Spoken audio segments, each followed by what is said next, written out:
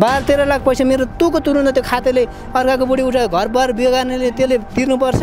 तेरो आँटले केही आँटले लगेको र तेरो त्यो खाताले त्यो। सर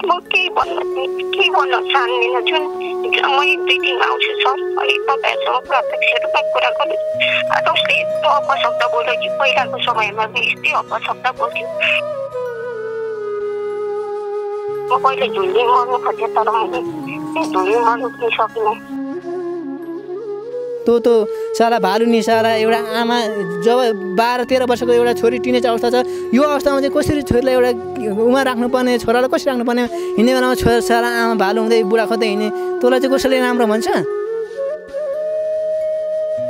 गल्ती भयो मैले हिँडेँ तर यसले मलाई पीडा चाहिँ दिएको हो पहिला बिहा गरेदेखि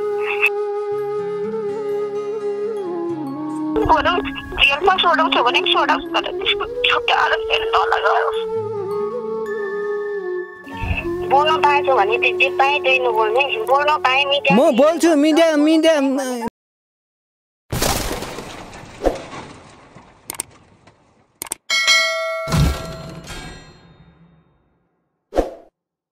छोरासँग गएपछि छोरासँग गएपछि एक डिटोल चाहिन्छ। एक डिटोल चाहिन्छ मलाई। एक एक डिटोल जान्छ। कुन मिति कुन तिथिमा अँ। सम्पूर्ण कुरा अँ, देख अनि होइन नदेखायो नि तैँले त अहिले व्यवहारले त देख्यो नि त। छोरासँग त्यही तेरै बुढा त्यो भा त्यो खाते त्यो जाँडाक्सी खाँदै हिँड्ने त्यो खातेसँग त्यस्तै काम व्यवहार गरेर त त्यो छोरा टिपेर हिँडिस् त। देख्यो नि त अहिले व्यवहारले त। तँ उनको सोझो हिँड्नु खोज्छस् अहिले म हामीसँग बोल्न पाएछ भने त्यो जे पाएँ त्यही नबोल्ने बोल्न पाएँ मिडिया म बोल्छु मिडिया मिडिया मिडिया यो मात्रै मिडिया होइन अरू पनि म मिडिया भिडाउँछु बुझिस् तेरो लागि हो भने चाहिँ म। भिडाउँछु म मिडिया अझै भिडाउँछु किनभने मेरो त म त पचास पचपन्न डिग्रीको घाममा तातो घाममा पसिना कमाएको पैसा हो त म त पैसा टिप्नु गएको थिइनँ नि त बोटमा त तपाईँको क्लियर कुरा भन्नुहोस् न तपाईँको कति पैसा हो बाह्र तेह्र लाख पैसा मेरो खाएर हिँडेको छ हौ तपाईँ सर भन्नुहोस् कति बाह्र तेह्र लाख पैसा मेरो तुको तुरुन्त त्यो खाताले अर्काको बुढी उठाएर घर बार बिहे गर्नेले त्यसले तिर्नुपर्छ तेरो आँटले केही आँटले लगेको र तेरो त्यो खाताले त्यो एउटा बतुवाले। त्यो बाह्र तेह्र लाख पैसा हुनुपर्छ तुको तुरुन्त हुनुपर्छ के को आँटले लगाएछ अर्काको घर बिगारेको छ? मेरो मात्रै त्यो एकजनाले गर्दा त्यो एकजना त्यो खाताले गर्दा मेरो त ती तिनजनाको घरबार बिग्रिया छ। यहाँ छोरा छोरी मेरो एउटा लाइफ भनेको तँलाई आफ्नो लाइफको बारे तँलाई यता त थाहा छ? लाइफ भनेको मान्छेको के हो भनेर तँलाई थाहा छ? ती तिनजनाको त्यो एकजना त मोच मोच तेरो एउटा सानो त्यो एउटा मोज मस्तीले गर्दाखेरि त्यो एउटा तेरो सानो निर्णयले गर्दा हाम्रो त ती तिनजनाको भविष्य अन्धकार हुने भइरहेछ। त्यो पैसा तैँले तुरु तुरुन्तले मैले गर्ने काम मेरो छोरछोरीलाई म कहाँ त्यो पैसा के गरेर ब्याङ्कमा राखेर हुन्छ के गरेर हुन्छ मेरो छोरछोरीलाई म पढाउने मेरो काम हो। तँ त साला भालु नि साला एउटा आमा जब बाह्र तेह्र वर्षको एउटा छोरी टिनेज अवस्था छ यो अवस्थामा चाहिँ कसरी छोरीलाई एउटा उमा राख्नुपर्ने छोरालाई कसरी राख्नुपर्ने हिँड्ने बेलामा छोरा साला आमा भालु हुँदै बुढा खोज्दै हिँड्ने तँलाई चाहिँ कसैले राम्रो भन्छ? ठिकै छ अब जुन दिन प्रत्यक्ष भेट हुन्छ त्यतिखेर अहिले जे भन्दा हुन्छ कि म सुन्नुहोस् न के भन्दिनँ नि त। सुन्नुहोस् न सुन्नुहोस् न। हुन्छ प्रत्यक्ष भेट्नु हुन्छ। तपाईँ भन्नु मलाई बाह्र तेह्र दिनभित्रमा तैँले सबै त्यो पैसा र मेरो धनी पूजा सबै तैँले पास गर्नुपर्छ र कानुनी हिसाबमा डिभोर्स दिनुपर्छ।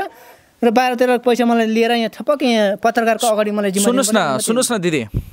हजुर। तपाईँ अहिले काठमाडौँ हुनुहुन्छ होइन? हजुर हजुर। तपाईँ जोसँग जानुभयो उहीसँग हुनुहुन्छ नि? त्यो खातेसँग तपाईँ- तपाईँ- तपाईँ एकछिन चुप लाग्दिनुहोस् न। तपाईँको केही भनाइ छ? तपाईँको केही कुरा छ? यो-। रेकर्ड भइरहेको छ है भिडियोमा आउँछ। तपाईँको केही भनाइ छ? तपाईँको केही भन्नु छ? तपाईँको कारण के थियो? त्यस्तो होइन त्यस्तो केही कारण थियो भने अन्त एकछिन चुप लाग्दिनुहोस् न प्लिज। एकछिन चुप लाग्दिनुहोस् न। तपाईँको केही भनाइ छ? तपाईँ त्यसरी जानुपर्ने केही कारण छ भने राख्न सक्नुहुन्छ है। कारण त के छ हौ सर अब? एकछिन तपाईँ चुप लाग्दिनुहोस् न। ठिक छ सर म केही भन्न केही भन्न चाहदिनँ जुन म एक दुई दिनमा आउँछु सर अनि तपाईँहरूसँग प्रत्यक्ष रूपमा कुरा गर्नु। आज उसले यस्तो अपशब्द बोल्यो कि पहिलाको समयमा पनि यस्तै अपशब्द बोल्थ्यो। मलाई यसले मानसिक पीडा धेरै दिएको छ कि सर? ठिकै छ उसले। मानसिक चेतना कसले सुन्नुहोस् न दाइ तपाईँ चुप हुन्छ। बसिदिनुहोस् न प्लिज। तपाईँको त्यही त तपाईँलाई मानसिक धेरै प्रेसर दिएर चाहिँ तपाईँ हिँडेको भन्ने कुरा हो? हो सर। यो कहिले के भने कहिले के भने अहिले बाह्र बाह्र तेह्र लाखको कुरा गर्छ जस्तो के के कुरामा चाहिँ तपाईँलाई मानसिक तनाव दिनुभयो? केही भन्नु चाहन्न उसँग जुन दिन भेट हुन्छ नि। ठिकै छ उसले मलाई कुन कुन ठाउँमा भेटेको छ के के गरेको छ कहिले मैले कुन मितिमा के के खाएको होस् हो सर उसले सुनको कुरा गरेको ऊ त्यो कुरा त मैले सबै उसलाई पहिल्यै भनेको उसले सधैँ हो, कमाइदिएको हो। हो सर मैले बेचेर दिन तिरेको सर म त्यस्तो घिनलाग्दो खाएर ऊ पनि होइन यसले धेरै पहिलादेखि मलाई हो यो। अहिले यत्रो केटाकेटी भयो नाम लेखाएको छैन एक दिन गएर ल्याएको छैन मलाई थाहा छ क्या त्यही त अब तपाईँको बारेमा पनि बुझियो होइन तपाईँ अब सामाजिक काम नै गरेर हिँड्नु हुँदो रहेछ होइन? अब यो यो खालको निर्णय तपाईँको छोराछोरी यो अवस्थामा हुनुहुन्छ होइन? अब चौध पन्ध्र वर्षको भनिसके पछाडि त एक हिसाबले हुर्किसकेको छोराछोरी होइन? अलिकति गल्ती गरे जस्तो भन्ने चाहिँ लागेको छ कि छैन तपाईँलाई त्यस्तो केही?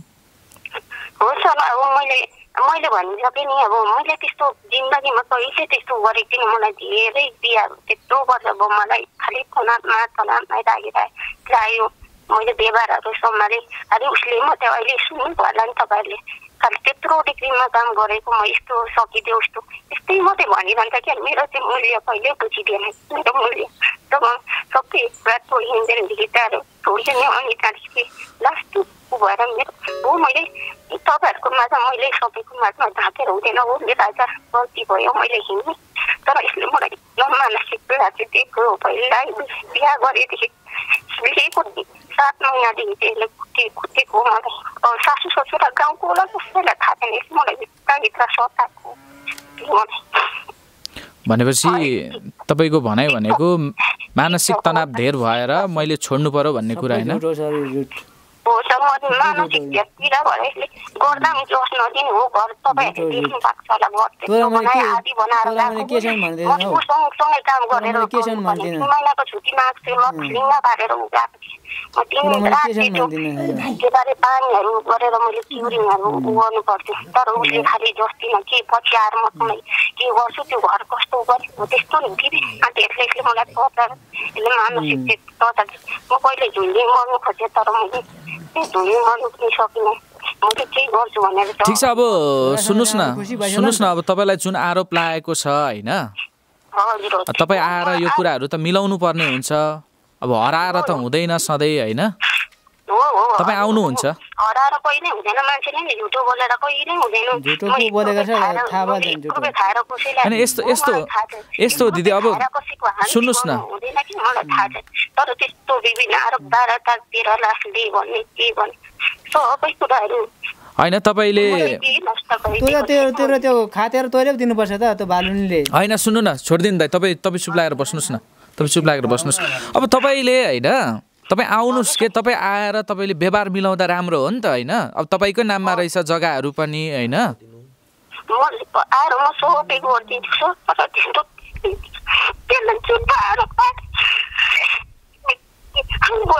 जेलमा सोडाउँछ भने पनि सोडाउँछ तर त्यसको नलगाओस्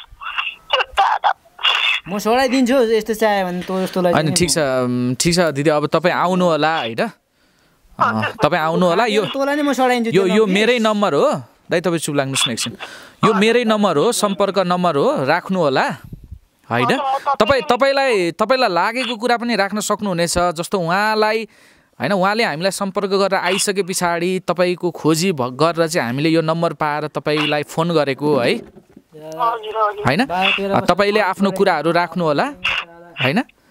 तपाईँको कुराहरू पनि हामी राख्नेछौँ। तर तपाईँले अब उहाँलाई छोडिसके पछाडि उहाँले दुःख गरेको सम्पत्ति त फिर्ता गर्नु पर्यो होला नि त होइन। त्यो खाताले के आँटले लगाएछ मेरो घरबार ती तिनजनाको भविष्य बिगारेको छ होइन खाताले एकदम त्यो सम्पत्ति मेरो बार तपाईँ दाइ तपाईँ नबोल्नुहोस् न दाइ छोडिदिनुहोस् न ठिक छ तपाईँहरू तपाईँ आइसके पछाडि तपाईँ आइसके पछाडि यो यो विषयमा बसेर छलफल गर्न सकिन्छ नि त होइन मैले वायरिङ गरेको प्रोभेटहरू बनाएको नानीहरूको फीहरू तिरेर आएको दसैँ तिहार आएछ घरमा खर्च भयो यताको लता कपडाहरू किनेकै हो। हुन्छ सुन्नुहोस् न तपाईँ आउनुहोस् आएर चाहिँ अनि यो कुरामा बसेर छलफल गरौँ न है तर तपाईँ चाहिँ आउनु चाहिँ पर्छ है। कहिलेसम्म आउनुहुन्छ तपाईँ? हो सुन्नु न उहाँ विदेश जाँदै हुनुहुन्छ फर्क फर्किँदै हुनुहुन्छ होइन? सुन्नु न तपाईँ यस्तो यस्तो हो क्या विकल्प के बुढामै मात्रै जानुपर्ने विकल्प थियो र सुन्नु न सुन्नु न तपाईँले गल्ती गर्नु भएन होला तर तपाईँले घरबाट निस्किसके पछाडि परपुरुषसँग हिँडिसके पछाडि अब यो कुराहरू सकिए के तपाईँले यसको विकल्प अरू पनि थिए नि त होइन तपाईँलाई बुढाले नराम्रो गर्दाखेरि तपाईँको सासु ससुरा हुनुहुँदो रहेछ छोरी जसरी राख्नु भएको रहेछ तपाईँलाई होइन तपाईँलाई माया त सासु ससुराले पनि राम्रै गरेर राख्नु भएको रहेछ होइन सासु ससुराले माया गरेर राख्नु भएको थियो। म कसै मैले भनिसकेँ नि? अब यो अवस्थामा आइसकेपछि नि म भन्छ नि ओह्रालो गएको मृगलाई ओह्रालो नि खेल्छ क्या सर आज मलाई यस्तो शान्ति गर्दाखेरि दुनियाँकै नराम्रो दिएको ठिक छ हामी सुन्नु न। तपाईँ तपाईँ तपाईँ आउनु होला तपाईँ आइसके पछाडि हामी तपाईँको पनि कुरा राख्छौँ होइन? तर अब एउटा कुरा सरसर्ती देख्दाखेरि चाहिँ के देखिन्छ भने तपाईँलाई घर सम्हाल्नु पर्ने तपाईँको जिम्मेवारी हो नि त।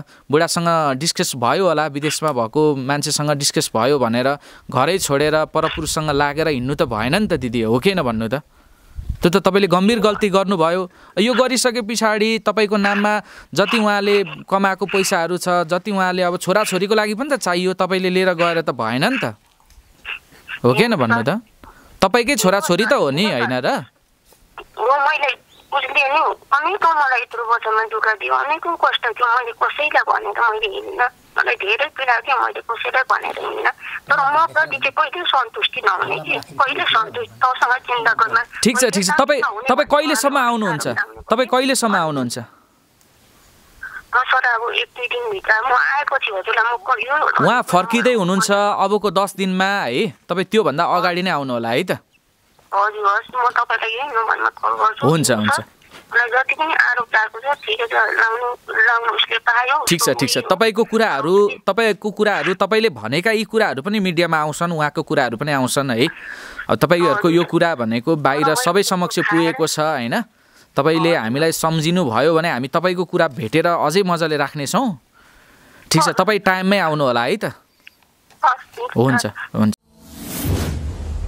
Please subscribe our channel Smart Nepal and hit the bell icon for more updates.